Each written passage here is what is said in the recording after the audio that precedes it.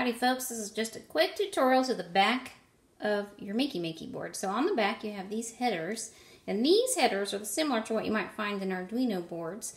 And there is control of WASDFG, and on the right side you can control the inputs for mouse, your mouse. But on the top is what we're going to look at today, and this is our actually our only output that we have with Makey Makey. So you can actually make a light light up if you take the positive leg of the LED, which is the longer side, and place it in 5 volt, and the negative side in ground. However, I would suggest not doing this very light long because, whew, that was hot, because it's really too much power for this LED.